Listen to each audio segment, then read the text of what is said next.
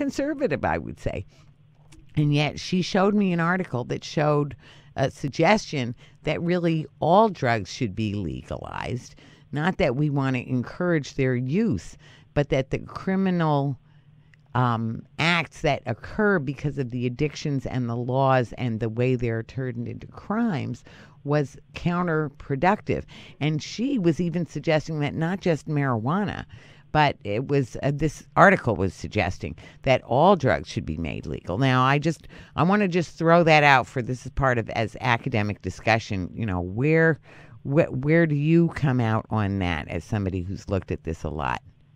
Well, I'm in the Erie County Green Party, and the Green Party, even at the national level, Mhm. says that the drug laws should be repealed and that this is not a criminal issue. This is a mental health issue, and it should be treated as a mental health issue uh, under the guise of all, all health issues. Right. Well, actually, as a social worker, I have always thought that in terms of, first of all, mental health issues means that's all of our issue. Because we, most of us have a broken alert system. We have the fight, flight, freeze going on, which is, a, a, a, in, you know, in our DNA, we have that alert system that is the same one that we had as cave people really. We have it the all the animals have it we have it. And so that's a system that's meant to come on when there's a threat. It's not meant to be on all the time but with our current um, activity level with trauma intergenerational effects of trauma and our very shame based society, just one way and another, and just the activity level, the pressure that people are under, most people have a broken alert system. And so we have huge addiction rates. I've even seen um, statistics that say up to 80% of people have some kind of an addiction. Yeah, sugar. Well, sugar Salt. actually sugar is an extreme addiction too. Yes, Mm-hmm. they, there's research that shows that sugar is more addictive than anything. I can I wholeheartedly agree with that. Have you seen people in the stores? All of a sudden you're about to leave, and I was like, mm, should I get these peach rings? Yes. yeah, well, especially when they're right at the door, right at, at the, the door, door. where you're checking out. Well, pop is liquid candy. yeah. So, There so are that's an different types of sugar, though. They're naturally occurring sugars and sugars that are added and processed sugars. So, Right. I mean, I think that if people were to have more home cooked meals, they would have more of the naturally occurring sugars, especially desserts. Mm-hmm. Well, back to health and health care is that one of the things that does get overlooked so much, and I'm sure as a young dad that you don't overlook this, that our diet, that our our diet is so important. Huge. Just Huge. yeah, just mammoth, and in fact, so many things that could be dealt with, um, where the the the medical, you know, the the techno chemo medicine people will just give you a pill, where it could be, um, uh, the intervention could be a change in diet, is so much more efficient and so much more healthy and healthful, and yet it doesn't.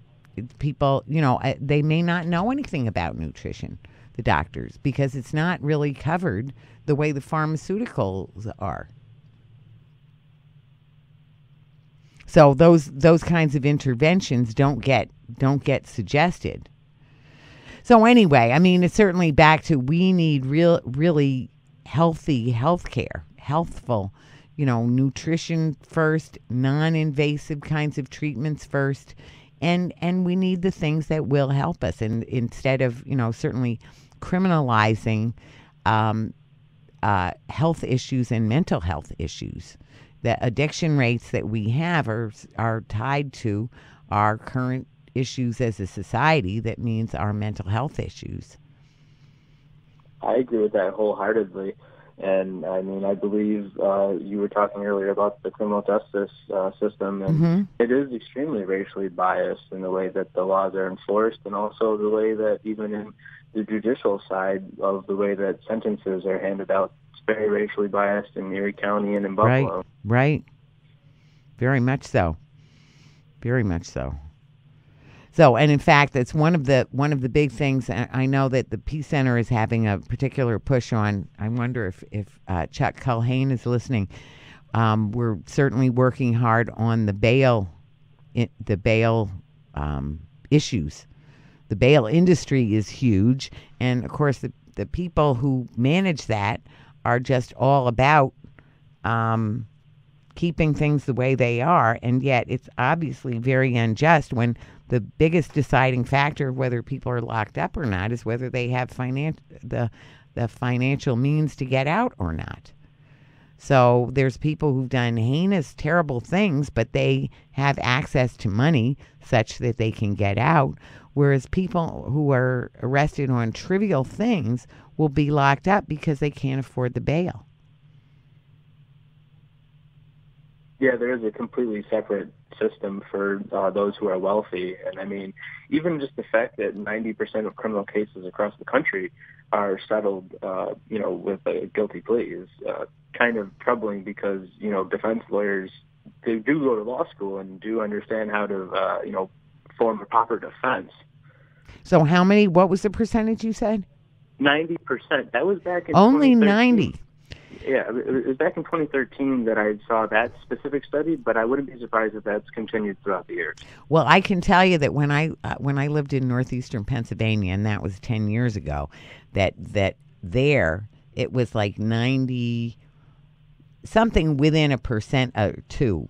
Uh, it was like ninety eight point seven and ninety eight point eight or something. It was ninety eight point seven who that were that were um, uh, uh, settled with a guilty plea, and it was 98.8 in the Soviet Union versus, ir- you know, uh, uh, that was actually also uh, oh, Lackawanna County. This is Talking Peace with Western New York Peace Center. I'm your host, Vicki Ross, and we're here on the phone with Anthony Baney, who is talking about, well, we really covered a lot of ground already, talking about medical marijuana um, and also somewhat on the criminal justice system, etc. So, um, so we were just talking about the differential ways that that um, the really racially oriented um, problems in the criminal justice system is what we were just most recently talking about. So, what what, what would you see as some solutions to some of that?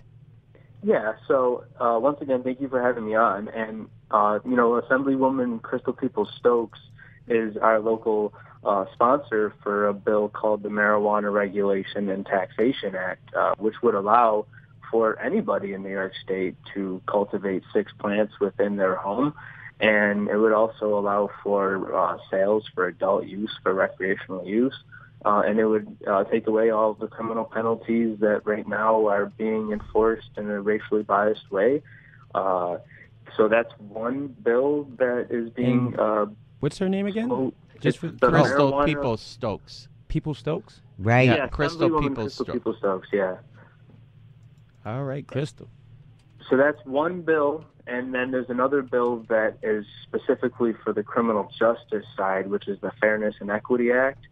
And that one has a little bit of trouble because the state senator that has sponsored that bill, uh, Daniel Squadron, actually is stepping down this year. So it'll be interesting to see how much progress that gets in the state senate, uh, because the Marijuana Regulation and Taxation Act still hasn't even been uh, even discussed in any of the committee of the two houses in the state legislature yet. Really? Darn. So, I well, I want to I want to really give a shout out to Crystal People Stokes because I think she has just been um, wonderful on so many issues. That really, just a, a person of the people.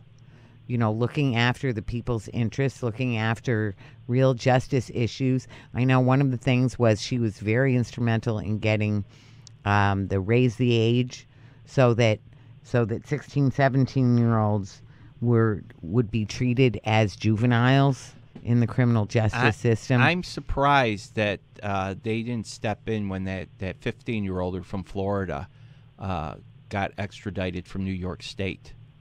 Uh, that killed that killed the grandmother supposedly.